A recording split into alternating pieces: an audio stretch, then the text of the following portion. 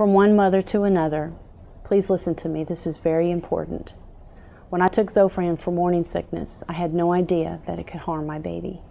If you took Zofran for morning sickness and nausea during the first trimester of your pregnancy, and your baby was born with one of the following conditions hole in the heart, heart murmur, cleft palate, cleft lip, or missing kidney, you need to know that according to the FDA, these birth defects are associated with Zofran.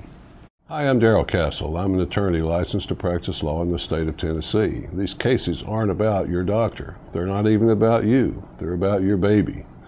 Your baby can't call me. Your baby can't come to see me. You have to do that for them. Your baby may be entitled to substantial compensation from the manufacturers of Zofran. Your baby is certainly entitled to justice.